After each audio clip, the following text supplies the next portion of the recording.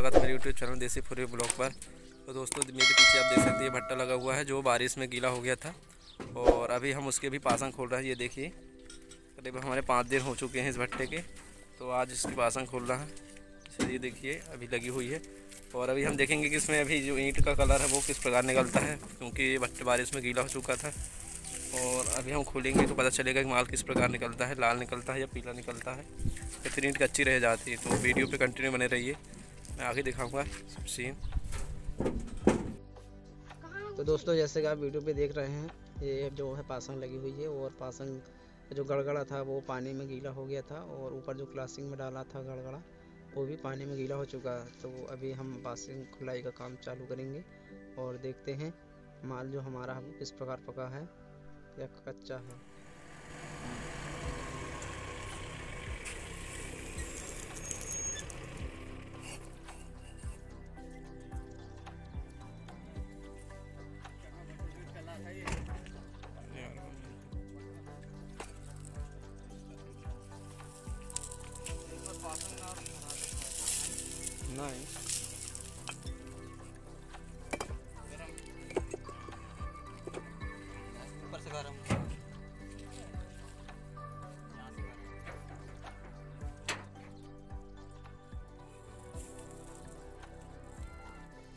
तो दोस्तों देख सकते हैं आप, भट्टी का कुछ इस प्रकार कलर है, गुलाबी। और पासंग में जो माल भरा हुआ था वो उसमें था गड़गड़ा। और चना भटूरा जो दम, दो नंबर कोयला बोलते हैं वो, और स्ट्रीम, और जलन थी हमारा जला हुआ कोयला। हमने तीन चीज़ों का मिक्स किया था इस पर जैसे देख सकते हैं आप ये। ये चना भटूरा है इसे हम दो नंबर का कोयला बोलते हैं। ये देखिए, पत्थर टाइप जो होता है उसका कलर देख सकते हैं आप।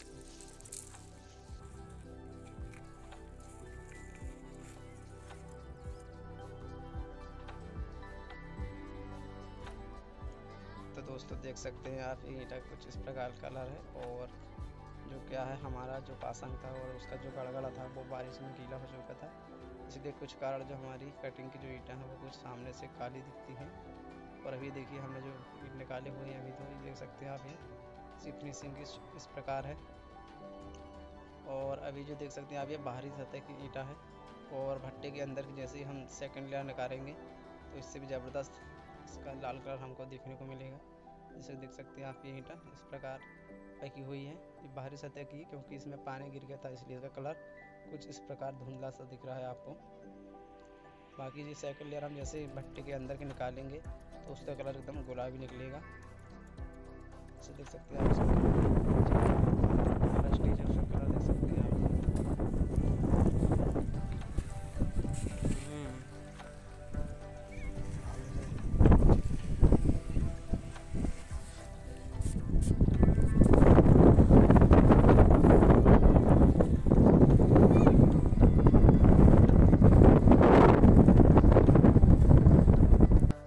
जैसे कि आप देख सकते हैं, मेरे पीछे ये भट्टा लगा हुआ है जो बारिश में गीला हो चुका था।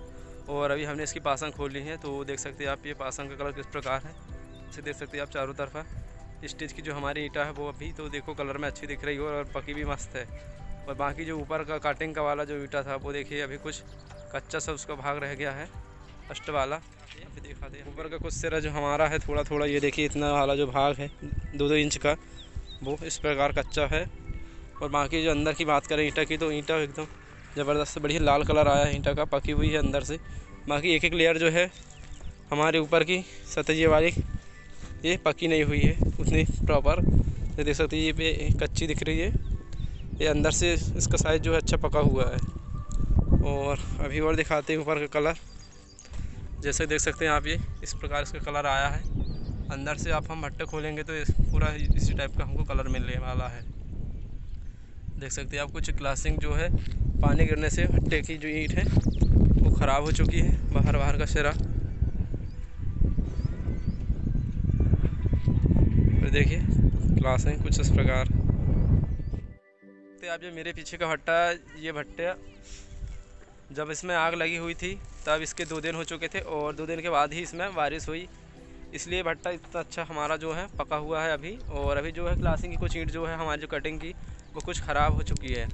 और दोस्तों, पानी ज़्यादा आने से बहुत से भट्टे भी बैठ जाते हैं, आग लगाओ या कुछ भी करो, क्योंकि आग जब तक हमारी स्टेज के ऊपर पार ना करे तो तभी माल जो हमारा पकता है पानी गिरने पर। और यदि स्टेज के नीचे ही आग है स्टेज में, और पानी आ गया और बारिश हो गई तो भट्टा जो हमारा पूरा बैठ जाएगा। अधिकतर लोग कहते हैं कि आग लगा दो और बारिश हो जाए कुछ हो, भट्टा हमारा जो पक जाएगा, ऐसा कुछ नहीं है। जब तक हमारी आग जो लगाई हुई है, वो स्टेज पार ना करे। करीबन ये लेवल हमारा आग आ जाना चाहिए। और इसके बाद यदि थोड़ा बहुत बारिश हो भी तो हमारा जो भट्टा है, वो पूरा पक जाता है। और बाहर का कुछ जो माल होता है, वो हमारा ख़राब हो जाता है। बारिश से यदि ज़्यादा होने पर भी बड़े बड़े भट्टे जो होते हैं, वो आग पानी के कारण बुझ जाते हैं।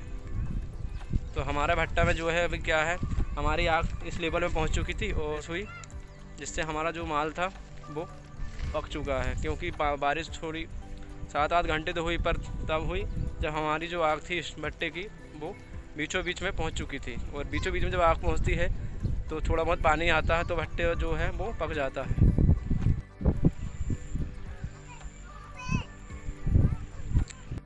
तो यदि मेरी वीडियो आपको इन्फॉर्मेटिव लगी हो तो वीडियो को लाइक और चैनल को सब्सक्राइब कीजिए। थैंक यू और वॉचिंग वीडियो मिलेंगे ऐसे इंटरेस्टिंग वीडियो के साथ।